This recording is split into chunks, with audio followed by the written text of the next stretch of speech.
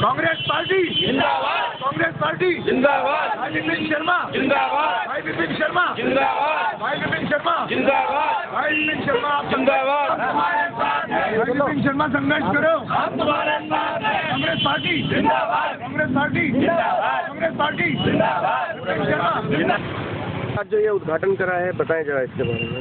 ये ये हमने आज अनऑफिशियल उद्घाटन किया है क्योंकि यहाँ पे क्रिएशन सेंटर वेलकम के अंदर फ़ोटो चौक पे विधायक फंड से जब मैं विधायक था तब हमने इसमें तकरीबन दो करोड़ पैंतीस लाख के फंड हमने दिया।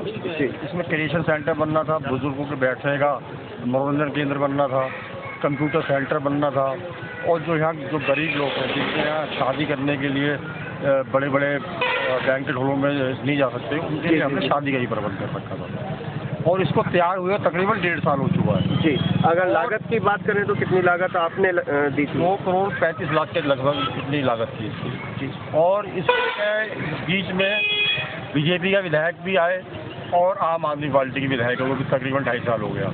लेकिन किसी को इतनी फुर्सत नहीं है कि इसका उद्घाटन कर सके, इसको खुलवा सके, लोगों को समर्पित कर सके। ये लोगों के, वेलकम के लोगों का पैसा हमने का आज लोगों के पास फ़ायदा नहीं उठा पा रहे वेलकम के लोग और आज हमने इसका उद्घाटन इसलिए करा है अनऑफिशियली ताकि उनकी नींद जागे और उनको पता लगे कि कांग्रेस के लोग इसका उद्घाटन कर गए हैं तो वो ऑफिशियली कम से कम इसका उद्घाटन तो करे। जहाँ यहाँ के लोगों के लिए वो बनाया है यहाँ के लोगों को यहाँ का फ़ायदा तो मिले इसका। कहा जा सकता है यहाँ के लोगों के लिए वेलकम वार्ड के लिए नए साल का तोहफा? बिल्कुल ये नए साल का तोहफा है और ये हमने ही बनवाया था और आज ही हम ही इसका उद्घाटन कर रहे हैं। अच्छा जी जो ये आज अनऑफिशियल विपिन शर्मा जी ने उद्घाटन करा है क्या कहना है इसकी? ये जो आज हमारे पूर्व विधायक विपिन शर्मा जी ने इसका अनधिकृत उद्घाटन किया है। जी। उसके पीछे एक मैसेज देना है। मैसेज देना है वर्तमान एमएलए को। मैसेज देना है जो इससे पहले बीजेपी के विधायक रहे कि ये कांग्रेस के विधायक भाई विपिन शर्मा जी ने अपने फंड से दो करोड़ पैंतीस लाख रुपए से ये रिक्रिएशन सेंटर बनाया। जिसमें ये सोच थी कि एक फ्लोर पे हमारे यहाँ छोटी सी डिस्पेंसरी चलेगी जो यहाँ के लोगों का रोज़मर्रा की दवाइयाँ करेगी। एक कंप्यूटर सेंटर विधायक जी यहाँ बनाना चाहते थे जिससे क्षेत्र के लड़के लड़कियों को कंप्यूटर की शिक्षा प्राप्त हो। और एक फ्लोर पे बुज़ुर्गों के बैठने का उठने का इंतज़ाम यहाँ किया गया था। लेकिन पिछले लगभग दो ढाई सालों में इसको हमने बना दिया। ये मैसेज देना है कि इन लोगों पे इतना समय भी नहीं है कि ये इसका उद्घाटन कर सके इसे चालू करके जनता को समर्पित कर सके। दिक्कत ये है कि वेलकम के लोगों का पैसा इस बिल्डिंग में लग गया। लगभग एक साल से ये बिल्डिंग तैयार है। जब ये सुविधा का निर्माण कर चुके हम लोग ये क्यों नहीं जनता को समर्पित कर रहे? शायद उनकी नींद जाग जाए आज कि उनको ये पता लगे कि कांग्रेस के लोग यहाँ आए और उन्होंने जनता का हक जनता को समर्पित करने के लिए एक तरीका अपनाया कि उसका अनऑफिशियल उद्घाटन किया। उनका का जो तोहफा दिया है पूर्व विधायक ने क्या कहना है? बहुत अच्छा तोहफा दिया है। ये तो मेरे ख्याल से काफ़ी पहले हो जाना चाहिए था।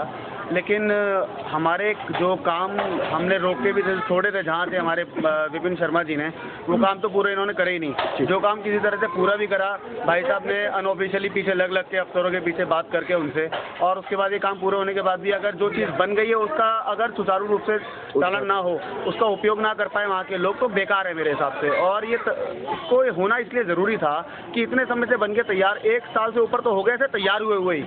ये ढाई साल ये भाई साहब बता रहे हैं ढाई साल हो चुके हैं, तैयार हुए हुए। क्योंकि मेरी नॉलेज में एक साल था जी, क्योंकि मैं पिछले एक साल से लगातार जब आ रहा था, देख रहा था कि हाँ तैयार है बिल्कुल ही। तो उसके बाद आपने इसे चालू क्यों नहीं करा? आपकी ऐसी क्या मंशा है? ऐसी क्या सोच है जो आप इसे चालू नहीं कर रहे हैं, यहाँ के लोगों को नहीं देना चाहते हैं?